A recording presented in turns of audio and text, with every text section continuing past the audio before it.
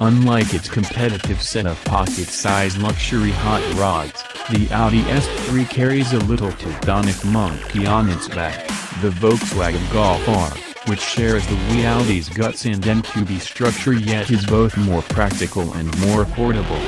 While a finer polish has been given to the updated for 2017 S3, including additional interior tech and minor performance tweaks, that comparison still weighs on Audi's smallest sports sedan. The S3's freshening is subtle, bringing the car in line with the larger 2018 Audi S4 via a more angular grille, standard LED headlights, and LED taillights with dynamic turn signals that illuminate in an out with sweep pattern when activated.